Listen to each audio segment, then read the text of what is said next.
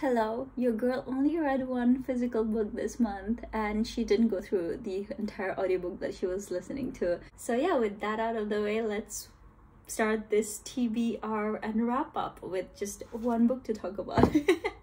um, anyways, I was listening to The Starless Sea by Erin Morgenstern and I'm still listening to it. It's an 18 hour audiobook.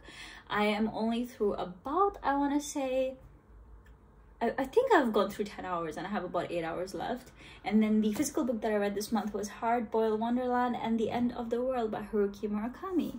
Now, anybody who knows or has watched any of my book videos will probably know I'm a huge fan of Murakami. I actually really enjoy his works, and this is one of the last books that I had to read. I still haven't read um, Killing Commendatore, but yeah, I have that in hard copy, and with hard copies, I always struggle to pick them up but I have to soon. And yeah, I read this book and I read it as a part of my book club, which is the only reason I truly believe is the only reason I went through it because I made a promise to myself that if I'm not enjoying a book, I'm gonna say goodbye. It's just there's just too many books in this world to, you know, that I want to read to force myself to read something I'm not enjoying. Anyways, I'm gonna talk about this in length at length today because I don't have anything else to talk about. I only read this, but we will at the end of the um, kind of video choose what I'll be reading next month and you're gonna help me decide. But yeah, let's start with this. So this book, if it's very similar if you have read to uh, Kafka on the Shore in the way that there are two stories happening at the same time and you're following each chapter you basically with each chapter go from one story to other so it's like one story one story and you get the point and both these stories okay by the way there are spoilers here few not too many but mostly it's me speculating things um the i'm just gonna give you like what the characters who the characters are so the book starts off with this guy in a lift and he's going somewhere for work and while he's going on the lift, he talks about basically how he's able to separate his mind into two parts and use them independently. And then he gets off the lift, and there's this girl guiding him to wherever he needs to go to finish his job. And while he's walking, he's talking about her being chubby. Now, this whole book doesn't have any names for the characters. I don't know if this chubby thing was just so that the girl could have the name the chubby girl, because uh, there was the librarian, the professor, him, he was just the guy, the protagonist. So there wasn't anything to describe people, like no names. Maybe that's why Murakami bought this like description of a chubby girl. But the thing is, like, I have been able to enjoy Murakami's books despite the fact that his interpretation or depiction of women, not interpretation, depiction of women in his books is so mind-blowingly horrific. Like, oh my god, what the hell are these characters? But so are his male characters. It's almost like he creates creates these blank characters with so few to go on that anyone can put themselves in any character. Maybe it's like what they say about these manic pixie dream girls, like or um, Anastasia Steele in um, Fifty Shades of Grey that was such such a blank canvas that any girl could project herself onto it and I feel like most of his characters are, are like that. But this book like I just couldn't get over the fact that the whole thing started with him calling a girl chubby and that was basically her entire personality in the book. I did not like that. But other than that the two stories. So one is Hard Boiled Wonderland which is this very science heavy part of the book. So if you're someone who doesn't really enjoy science fiction you might struggle and the other part is fantasy, which is the end of the world. And Hardboiled Wonderland follows the story of a guy who's very easygoing. He is a Calcutec, that's his job. But in his like normal life, he listens to jazz music, drinks a lot of whiskey, that's him. But his job is very interesting because he basically codes, not codes, using his brain shuffles, not shuffles, what is the word? He basically processes numbers and data and he helps like encode it encrypt it i guess that's the word. And uh, yeah it's very high security job. He works for an organization to help them protect data. That's his job. And in this particular job that he's going and he meets the chubby girl he's actually working for her grandfather who wants him to code some data from here on, you just follow the story of this young man and the scientist who is the grandfather and their story. The other side of the story, which is End of the World, is basically a fantasy where this man finds himself in a place, a town, which is surrounded by a wall, very high wall, no one can escape. When you enter this town, your shadow is cut off from you. And here he meets a librarian and his job is to read dreams. So you basically imagine this is a skull he holds the skull and he reads dreams. That's his job.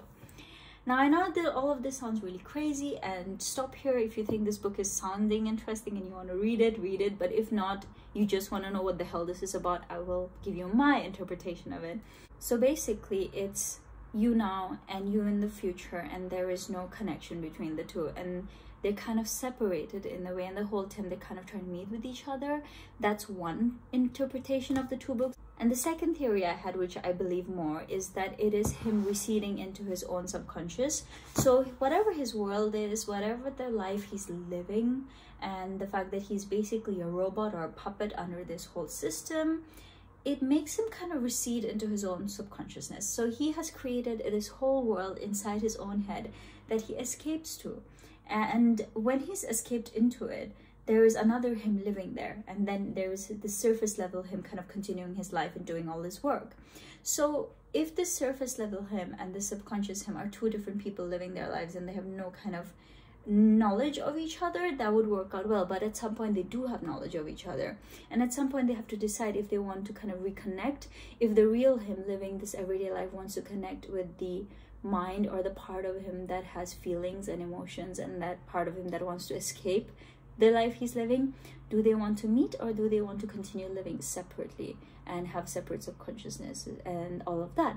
And the book finishes with him his subconscious deciding that he doesn't want to reconnect with his real self. His mind kind of wants to continue living back at the back of his mind without having anything to do with his real self. And all of the scientific jargon and all of that aside, I simply think the book was about how difficult life can be and how much some people, or like most of us, have this wonderful imagination in our head of this wonderful life that we could potentially live and how we want to escape into that world. And he did manage for his to detach his mind from what he is currently and live in that world. And when he finally finds himself in this fantasy world the whole time he's like oh my god who am i? Where is my kind of memories? And what, what kind of life did i had before? And it's kind of him deciding that there is not much he can do about how his life goes in the real world. So he's just kind of deciding to stay in this fantasy world and a lot of people say that's basically him dying and him deciding that he doesn't want to continue living in the real world. But i think it's but I interpreted it as someone who wants to continue living in this dream fantasy world that he has built for himself and he's happy with just being kind of a soulless vessel on the outside and just living in his dreams the way he wants to without having to give much of him to the real world. And yeah that's how i saw it. I thought the message was very beautiful. Did i enjoy reading the book itself um, I would say no. This is probably by far my least favorite Murakami book that I read because the process of reading it was really not all that fun for me. Um, also because I read two fantasy books this month, I was very, I was struggling so much to get through them, which maybe proves that um, everybody has their preference for genres and it, may, it perhaps is not my genre. But it wasn't a horrible book for anyone who's read a Murakami book and thought this is really not my cup of tea, I would recommend reading this because maybe I think this will be liked more by people who don't really like his magical realism parts because this is more fantasy. Um, and yeah, that's that's all. But next month I have three books that I want to read from. Pachinko by Min Jin Lee. I have been wanting to read this for a while. Um, the Secret History by Donna Tartt. Should I read the second Donna Tartt book? And the Nakano Thrift Shop. So please vote leave them down below which book should i read. I am leaning more towards this so if no one comments and no one says anything i'm gonna go for this.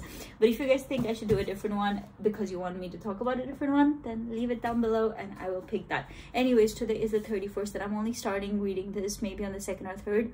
So yeah if you guys can let me know as soon as possible which one i should do next. I just need a bit of help. I don't know which one i should go with also the thing about this one people say that jay rubin he's a better translator and his books are more fun whereas ugh, this translator alfred Burn Birnbaum apparently his books are not as enjoyable. Now i don't want to have a go at any translator. I'm sure translating is one of the hardest jobs in the world in the world because you have to basically get the message and the story across but also keep the person's tone of voice and the messaging and the way uh, it's a very complicated thing so i don't want to have a go at him and i don't know if it's true but i will say that this book was perhaps maybe more enjoyable if you read it in Japanese and you underst- and you read it at the time when it was written. It felt very timely for the time when it was written. The very technical parts I perhaps would have enjoyed it more if we were not living in the world we're living in today.